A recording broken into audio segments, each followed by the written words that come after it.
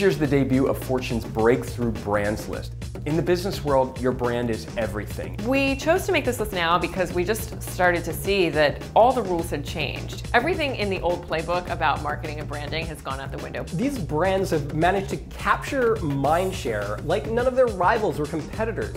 Spotify is one of these. It's not the only company out there that's put music on the internet. Instagram's on this year's Breakthrough Brands list because let's be honest, it is everywhere. It's on everyone's phone, and what was once kind of a trivial photo app is now a full-blown social network. Facebook spent a billion dollars to acquire Instagram, and now it kind of looks cheap. There was nothing that let you do what Snapchat lets you do before Snapchat. It was new. You say, hey, are you on Venmo? Can I Venmo you? It's turned itself from a noun into a verb. Slack, oh my God, you're telling me it's gonna make my email inbox less horrendous? Great, sign me up.